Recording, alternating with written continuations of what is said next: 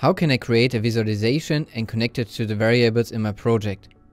Here I've got a very simple project. I've got an RS ledge with variables already attached to it. I've got a set variable, a reset variable, and a lamp which is connected to the output. To create a visualization, we just do a right click on the application and select visualization. Now we can select the name. It will now create the visualization a task for the visualization and a visualization manager so we can already start using the visualization. Here we can go to the right and take a look at the toolbox. This will offer you different elements which you can use in your visualization to display your real process. We'll just go to common controls, select a button to turn on the lamp, a second button to turn off the lamp, and then a lamp to display the output of the RS knowledge.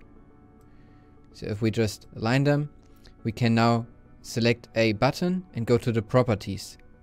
Here we can set a text, so for example on, and connect it to the variable. So we go to input configuration and then tap and select the variable here by using the three dots.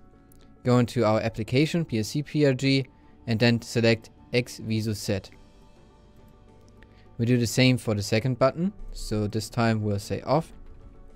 And again, select the variable. Now we can select the lamp, and here it looks a little bit different since it's a different element, but also we have a variable which we can attach to this object.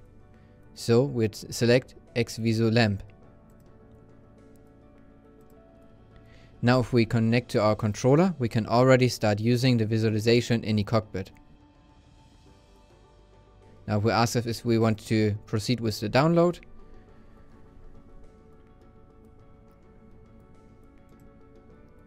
If we press the button on, the lamp turns on, and if we press the button off, the lamp turns off.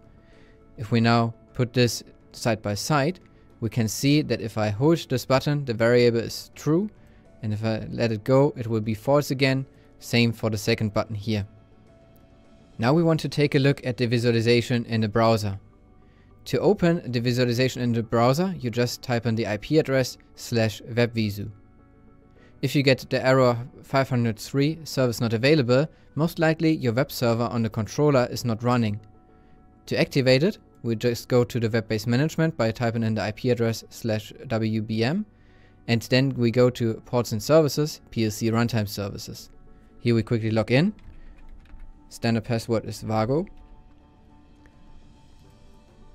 And then we can check if the web server is enabled. Here we can see it is not, so I will select web server enabled and submit it.